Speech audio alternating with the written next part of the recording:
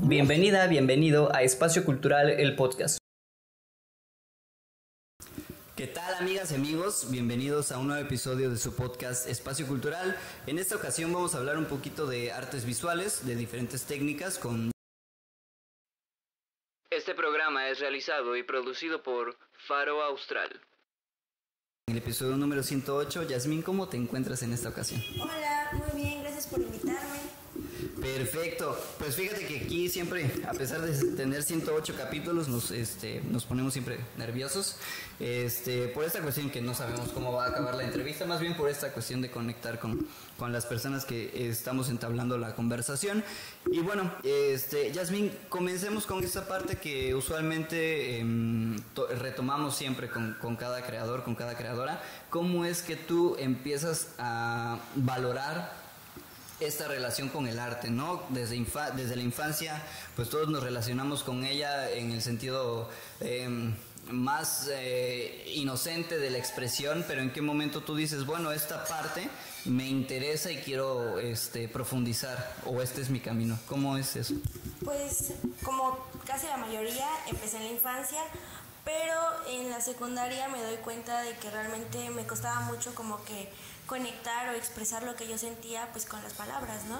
Entonces empiezo a adentrarme a los medios artísticos, empecé con la música, este, yo iba para, para música, entonces este, conecto muy bien con, con este sentimiento de, de sentir el instrumento y es ahí cuando me doy cuenta de que realmente como que por ahí iba.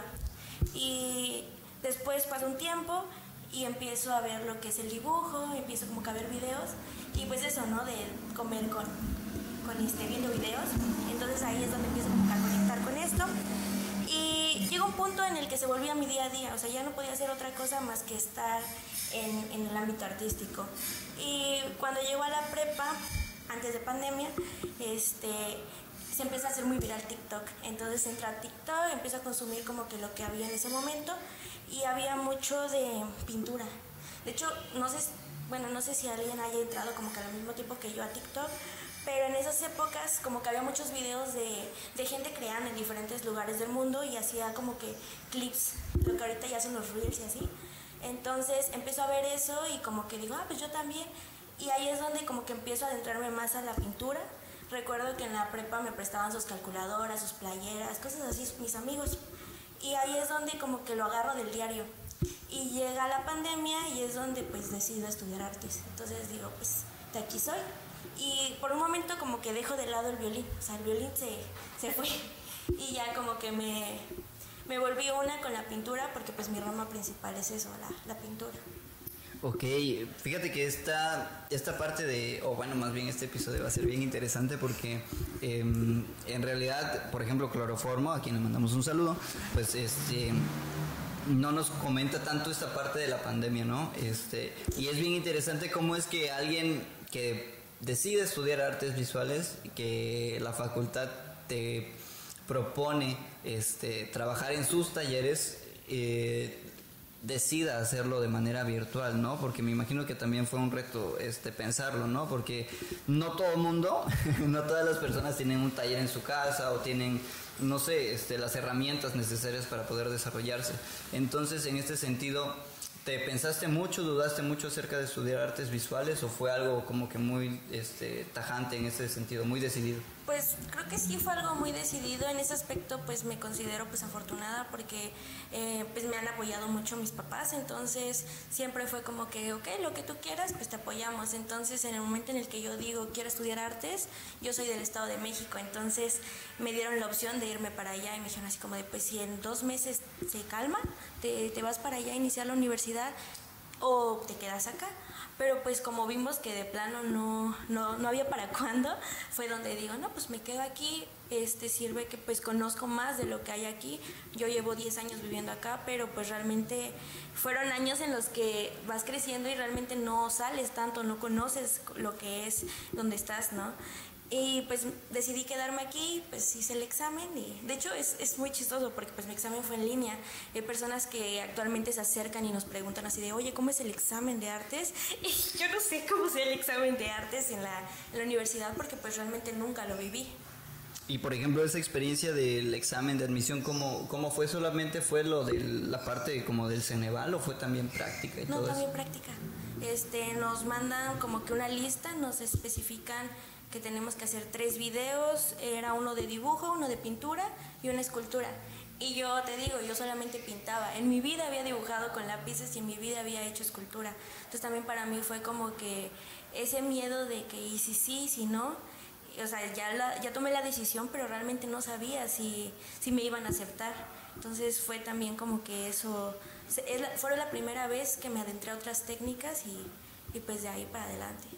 Ok, pues fíjate que está bien interesante esta parte porque creo que muy pocas generaciones esperemos que eso suceda, vuelvan a, vivir esa parte, ¿no? De, de, de, adentrarse a la carrera, pues a través de, de, eso, porque me imagino, quiero creer que posiblemente las personas que ya sabían de video también se sentían con muchísima más confianza, ¿no? Para poder grabarse, este, realizando sus productos.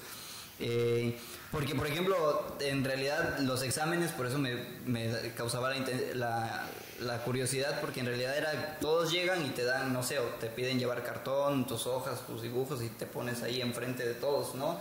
Ah, de manera colectiva, cada quien en su show y es como que imposible crear en el sentido de que, pues, esta persona tiene su idea y la otra persona tiene su idea, ¿no?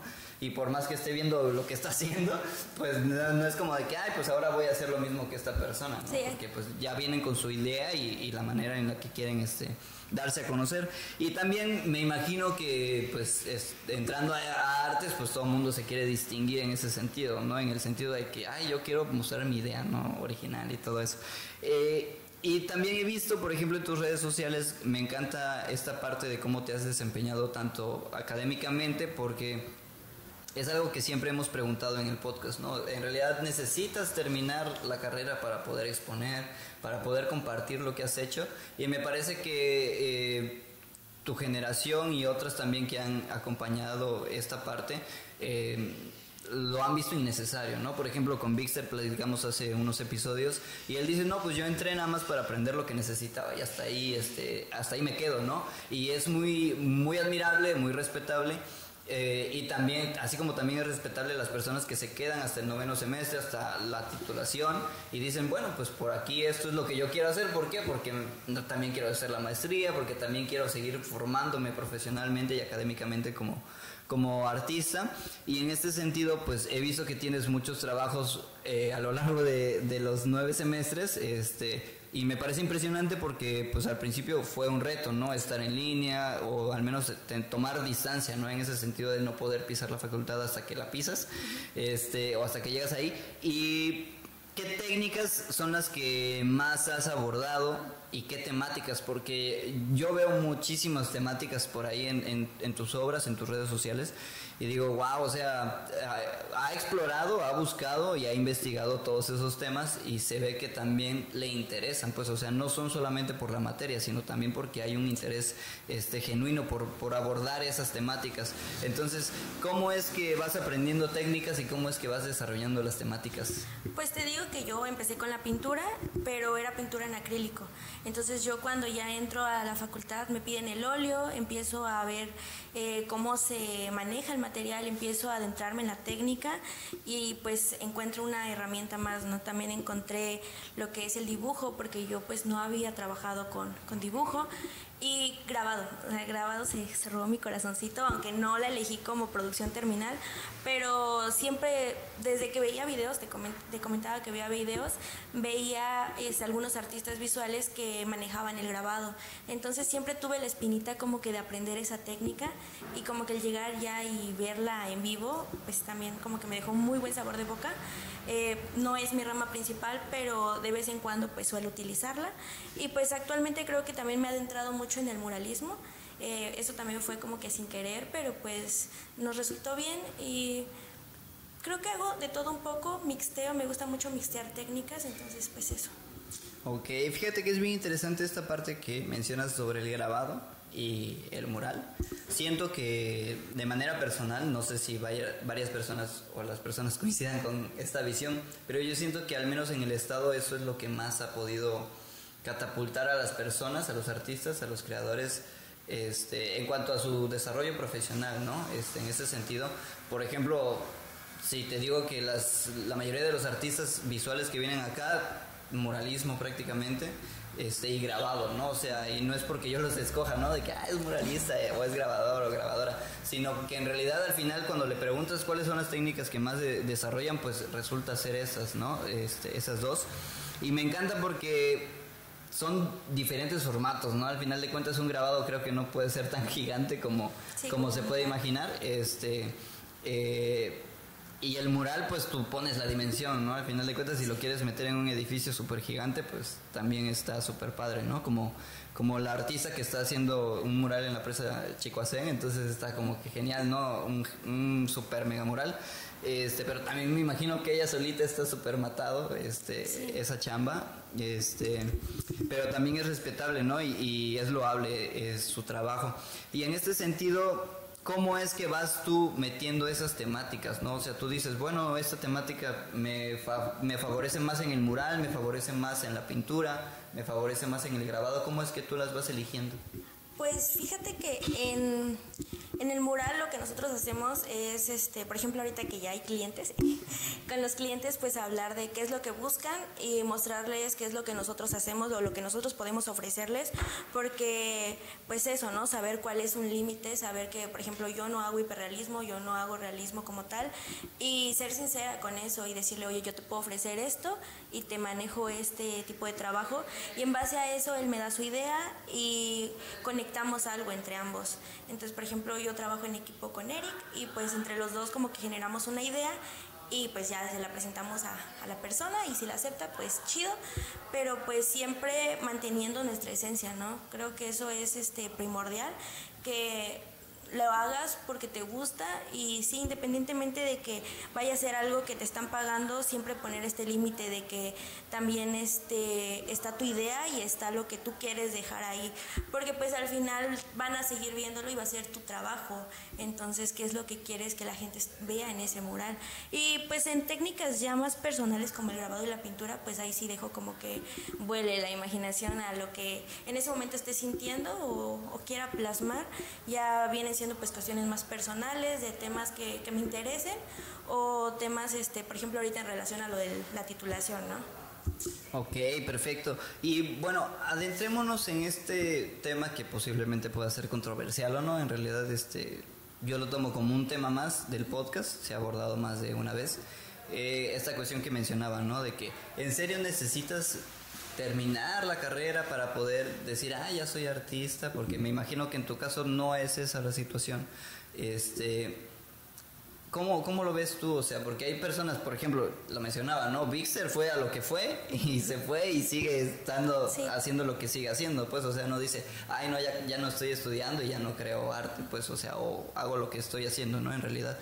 Eh, decide él extraer lo que considera necesario, básico, y se siente capaz de poder decir, bueno, pues fuga, ¿no? Este, y, vamos a seguir dándole por el camino que yo quiero marcar. En ese sentido, ¿tú cómo ves esa parte de la profesionalización del arte? Lo digo porque pues muchas personas también escuchan el podcast y tienen ganas de estudiar artes o quizá nunca estudiaron artes, estudiaron otra cosa por no querer estudiar artes o por indecisión, por miedo, por presión familiar, etcétera. ¿Cómo es que tú ves esa parte de la profesionalización? Porque alguien que no estudia artes puede decir, bueno, pues entonces ya no estudié artes y ya no voy a dibujar, ya no voy a crear, ya no voy a pintar, ya no voy a hacer nada de eso porque no lo estudio. ¿Cómo, cómo ves tú esa parte de la profesionalización? Pues siento que puede ir de la mano. O sea, no, no necesitas un título para ser un artista, pero tampoco te digo que no lo hagas, porque realmente, bueno, a mi parecer la, la universidad me ha dado pues momentos muy bonitos, siento que me ha dado exposiciones muy padres y, y me ha ayudado como que a abrir mi panorama de lo que yo creía que era para mí el arte y lo que yo hacía en, en mi vida cotidiana con el arte, porque pues por ejemplo, yo no, no, manejaba ciertas técnicas o me limitaba mucho a explorar otras cosas. Lo que ahorita te comento, ¿no? Del mixteo. No me había atrevido a hacerlo hasta que llegué a la facultad y vi cada una de las técnicas por individual y después dije, bueno, pues voy a probar. Pero pues tampoco está mal, o sea, me, he visto muchos artistas que no lo estudiaron, que iban para otra rama, pero en algún punto de su vida como que se adentraron y llegaron ahí pero de cierta manera siguen estudiándolo, a lo mejor y no con una institución, pero todos siempre estamos aprendiendo. Este, puede que no estés aprendiendo específicamente con la universidad, pero siempre vas a estar aprendiendo, este, individual o colectivamente. Eh, ah, perfecto. Sí, yo creo que esa parte de la formación no se puede este, dejar de lado, ¿no? O sea, en realidad me quedo con la parte que decías al principio, no necesitas el título, pero sí necesitas formarte, ¿no? O sea, y, son esas partes importantes, necesarias, y que también creo que en la universidad lo que te puede generar, lo que te da, este, son los vínculos, ¿no? Es poder hacer contactos y amistades también, ¿no? O sea, si trasciende el contacto a una amistad, pues está súper genial. Pero si se queda en contacto, pues también lo valoras, ¿no? Como contacto y dices, pues aquí esta persona me puede ayudar en algún momento o yo le puedo ayudar en algún momento. Y estar abiertos a la colaboración me parece muy interesante porque que pues todos los murales o la mayoría de los murales que te has aventado pues son en colaboración al final, ¿no? Entonces eso es súper padre y súper importante porque pues no, no, no, sé si podrías hacer una colaboración para un grabado, pero este, pero sí para un mural y está súper padre esta parte de poder abrirse y, y o tener esta apertura, ¿no? A decir, bueno, no necesariamente tengo que ser solamente yo la que va a estar haciendo esto, ¿no? Porque al final de cuentas la idea ya está ¿no? Y no necesita tener mi brochazo o la parte de mi trazo para decir que yo lo hice, ¿no? O sea, yo lo hice, pero pues también están estas personas que lo hicieron. Y también en esta parte de las exposiciones, pues también te, has, has, tenido la oportunidad de hacerlo colectivamente, ¿no? Sí. Y y, me, y ahí es donde me pregunto, bueno, tú que ya has tenido bastante experiencia y bastante recorrido, este, a comparación de otros estudiantes, eh, haciendo exposiciones, presentándote, este, haciendo murales, participando con otros artistas, mm, como cuál crees que podría ser tu camino artístico, ¿no? O sea, te ves como artista de esas de, los artistas que producen para vender, que producen para, para, hacer esto, o es como de que bueno, o sea, también tengo mi negocio, también tengo mis otras líneas de acción y también obviamente la parte creativa sigue continuando en esa cuestión de que ay, yo quiero hacer este mural, pero también puedo vender una idea de mural, ¿no? O sea, o también si me pides este mural como una este eh, solicitud, un pago que me vas a dar para pintar, no sé, un restaurante, algún lugar, pues por supuesto que lo puedo hacer, pero sé que ahí no va mi parte artística, sino más bien mi parte técnica, ¿no? ¿Cómo es que tú has, o cómo ves tú este camino este, profesional? Bueno, pues actualmente pues tengo un trabajo, es un trabajo independiente, es un negocio propio, entonces pues esa parte pues me ha ayudado bastante porque pues la carrera es cara, ¿eh? eso sí, entonces este pues el tener este apoyo, una solvencia, pues sí te, te ayuda bastante, como que te hace respirar porque realmente siento que el yo vivir directamente obviamente requiere un proceso y requiere una trayectoria, como bien mencionabas, que se va dando y no es como que un día me pare aquí y diga, bueno, ya, cómprenme mi arte porque pues sí cuesta y hay veces que sí nos ha costado que la gente valore realmente lo que cuesta y los materiales y que no solamente digan, ay, pues es una pinturita, o sea. Entonces, en ese aspecto, pues sí tengo como que un apoyo, pero pues de momento lo que quiero es dedicarme a mi pintura al caballete, explorar más este el lienzo y ver hasta dónde soy capaz de llegar con eso. Entonces, esa parte me gusta y la disfruto mucho porque pues te digo, siento que soy una persona que me gusta trabajar mucho en soledad, pero pues no me cierro a los murales. También disfruto mucho la parte de, de estar en el mural obviamente en colectivo porque hacerlo solo es muy pesado. Y yo la verdad admiro mucho a las personas que lo hacen solos porque es cansadísimo y terminas el mural y te quedas como de, ay, denme una semana de descanso, por favor. Sí, no, ya, ya me imagino, ¿no? O sea, tú solita estando ahí, pues cuidando la pintura, cuidando tu teléfono, estar viendo que no te caigas o quién te agarra este, el andamio o cómo lo armas y todo eso, pues me imagino que también es, este, en cierta parte, pues no es dudar, sino más bien es una cuestión de o sea, me, me siento mejor acompañado, acompañada, ¿no? En realidad. Y no tengo ningún problema con eso, ¿no? Al final de cuentas, eso, eso es muy loable, se, se valora mucho.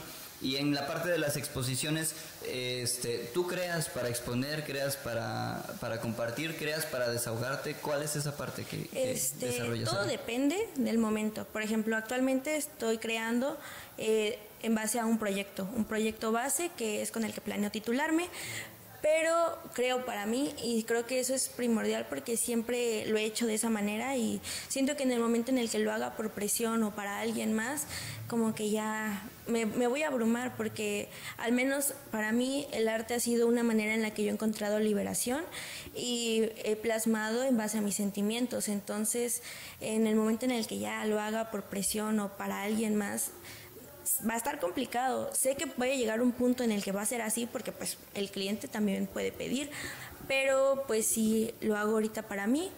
Pero si llega alguna exposición o sé que va a haber alguna exposición, también este, me adentro en el tema, investigo dependiendo del tema y en base a eso agarro lo que conecte conmigo y hago algo mío para esa exposición. Ok, perfecto. Y pasemos a esta parte que creo que este, atraviesa tu, tu formación académica y que pues también para las personas que fueron muchísimo antes de, tu generación, este, pues hemos y han tenido también que aprender esta parte de, bueno, también tengo que vender, ¿no? Y, y, mostrar lo más bonito quizá de lo que tengo y también tengo que tener redes sociales y ser, este, constante en esta parte porque el algoritmo es lo que me pide, porque pues si no, no, resalto y al final de cuentas pues no puedo estar tampoco en el centro con las pinturas así, ¿no? Miren mis pinturas, ¿no? Y lo más fácil o lo más accesible al menos para este siglo XXI ha sido Internet. Entonces, ¿cómo, cómo tú te sientes? Eh, en esta parte, porque me imagino que es como algo que te acompaña en tu línea de acción como artista, ¿no? Es decir, bueno, mm, voy a tener una exposición colectiva, pero también tengo que compartirla en mis redes sociales aunque no quiera, ¿no? Hasta el punto de tener, por ejemplo, una cuenta artística, una cuenta personal y una cuenta para otras cosas, ¿no? Eh, al final, este, hemos sabido eh, definir o entender esta parte, ¿no? De que es otro mundo las redes sociales y que tienes que jugar el juego que te están pidiendo jugar, porque si no, pues entonces no estés en la red social o al menos no estés en internet. Entonces, ¿cómo es que impregna o influye en tu trabajo, no? Pues mira, eh, te digo, como te comentaba, yo empecé a hacer como que clips y videos eh, de mi trabajo desde que estaba en la prepa. Algunos todavía están por ahí por TikTok. Entonces, eh, cuando yo hago estos TikToks, la verdad tuvieron un alcance muy brusco y me sorprendió bastante y muchas veces como que te encuentras con los comentarios también, ¿no? De que, o sea, el, entrar a las redes es este arriesgarte al hate, pero pues es eso, ¿no? O sea, o, hacerlo o, o lo haces o no lo haces. Y por ejemplo, actualmente yo subo mis historias, subo procesos de lo que estoy haciendo, pero como tal no considero que, que mi fuerte sean las redes sociales. He visto a, muchos chicos que actualmente están en la, en la prepa este, que acaban de abrir y suben historias de que ahí bailando y sus reels muy naturales, muy, muy creativos y siento que esas son las generaciones que, que ahorita están este, haciendo ese boom en las redes pero es, es complicado, como decías, de mantener como que el algoritmo y, y que vaya para arriba. Eh, tienes que ser muy constante y al menos en este momento pues yo no soy tan constante.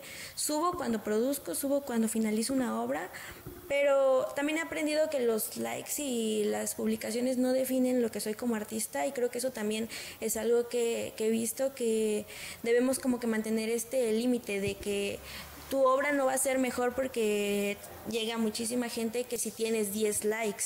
Tu obra puede ser genial y no tener vistas y eso no es malo y tampoco es malo que las tenga, pero sí tienes que saber que el valor de tu arte no está en, en las redes sociales y pues el, el valor que tú le das se tiene que mantener ahí.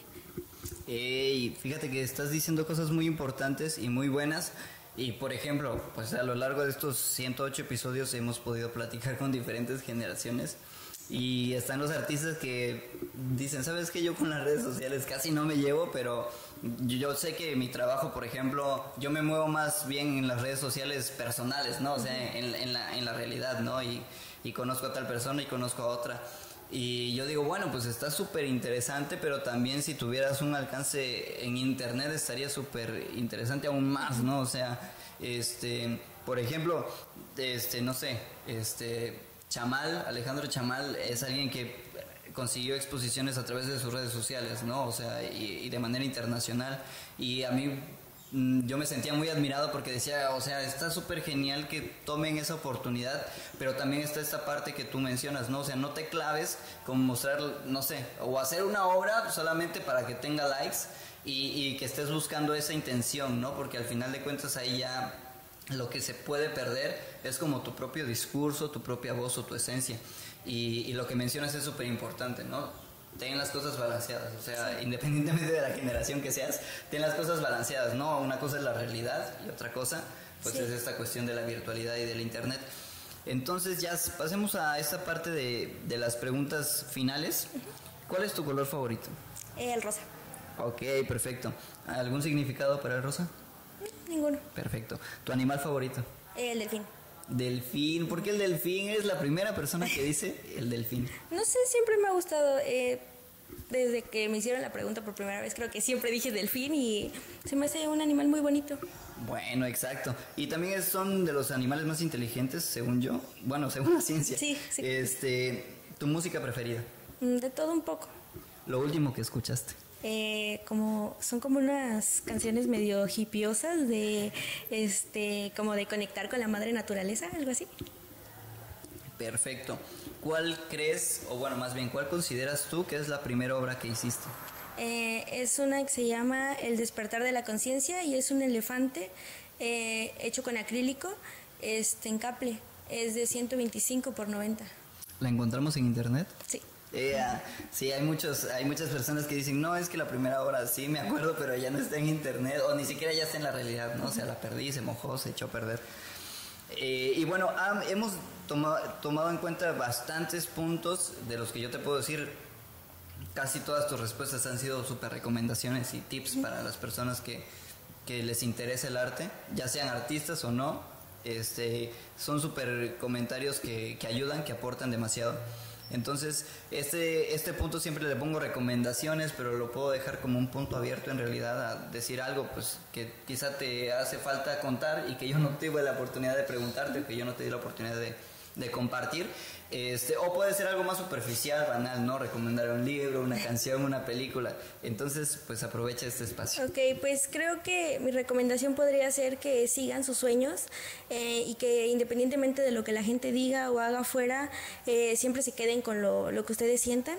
Y si son artistas, que pues plasmen con el corazón, porque pues creo que es algo muy bonito y que a lo mejor y no todos lo conectan o lo este, analizan de la misma manera que tú quieres que, que lo reciban, pero siempre va a estar ahí. Entonces, eso. Perfectísimo, Jazz. Entonces, ¿cuáles son tus redes sociales donde podemos enterarnos de lo que tú haces, de lo que vas a presentar este, y todo eso? Aparezco como Jazmín a la vez en Facebook, en Instagram, en todos lados. Perfectísimo, pues muchísimas gracias Jazz por, por, el, por el momento, por el, el- el tiempo que nos prestas para, para darle eco a tu voz. Este, en realidad, pues este programa es, es eso, ¿no? Este, no somos el, el- el podcast más famoso, pero pues sí tenemos 108 episodios y quiere decir que somos constantes y que también nos interesa platicar con los artistas. Eh, Independientemente si son famosos, si no son famosos, si están iniciando, si están acabando, en realidad lo que nos interesa es hablar de arte, profundizar y que también lo que siempre hemos mencionado es que conozcan al creador, a la creadora, más allá de sus obras, a través de su palabra, porque al final de cuentas es humanizar al artista, ¿no? En, en este momento, es decir, yo también he cometido errores, yo también este, la he cajeteado, pero al final de cuentas, pues lo que hago, lo que traduzco en mi lenguaje artístico, pues es algo que siento muy sensi- sensiblemente y que tú también lo sientes al decirle, ah, bueno, pues le pico al corazón en la red social o voy a la, a la exposición, a la inauguración y le tomo una foto o me tomo una selfie con la obra, etcétera, este, pues conectas, ¿no? Este, y yo como persona que, que ha ido como consumidor, que, que en su momento y que también en este momento asisto de vez en cuando, porque pues aquí en Tuxtlan es como que más la actividad cultural que en, otro, en otra ciudad, este... Pues digo, cuando tengo la oportunidad, por supuesto que veo la obra y digo, ay, genial, o sea, me encantaría preguntarle a esta persona acerca de cómo hizo esta obra, ¿no? Entonces, este, para mí es como brindar esta parte eh, alternativa, más allá de los medios tradicionales, la televisión, la radio, los periódicos, pues brindar una, manera alternativa y más libre, ¿no? Porque al final de cuentas aquí, si quieres decir groserías, puedes decir groserías, y si quieres decir irreverencias, también es válido, ¿no? Eh, no estamos supeditados, pues, a, a vender un discurso, en realidad, sino más bien, si escuchan los 108 episodios son millones de discursos y súper geniales, ¿no? Y la intención de este podcast, por ejemplo, es que en algún momento ya nos volvamos a encontrar y decir, bueno, pues desde la última vez que platicamos, ¿qué es lo que ha pasado, ¿no? Y vamos a estar súper encantados de poder saber que va a haber un grandísimo viaje entre este episodio y el que viene, ¿no? Entonces, pues muchísimas gracias. Pues gracias a ti por invitarme. Ándale, y muchísimas gracias a todas las personas que llegan hasta este momento del episodio. Compártanlo, sigan allá, apoyen los talentos chapanecos. Bueno, también este, este del Estado de México. Sí, este, ya más de acá, pero sí. Exacto, sí, no importa de dónde sea, pero está en Chiapas y está lanzándolo desde aquí y desde donde lo lance, pues algo de Chiapas va a llevar. Entonces, pues sigan los proyectos locales, más bien locales, no, no le pongamos ni estado, ni bandera, ni nada. Sigan los proyectos locales y apóyenlos muchísimo. Nos vemos en una próxima ocasión. Yeah.